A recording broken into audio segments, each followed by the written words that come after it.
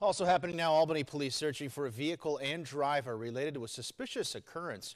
Police saying this incident happened on Tuesday just before 1.30 in the afternoon in the area of Whitehall and McDonald Roads. A child says that driver tried to talk to them and then that child went home and told their parents. The driver described as a Hispanic male around 40 years old, black beard or a goatee maybe. If you have any information, you're asked to call Albany Police.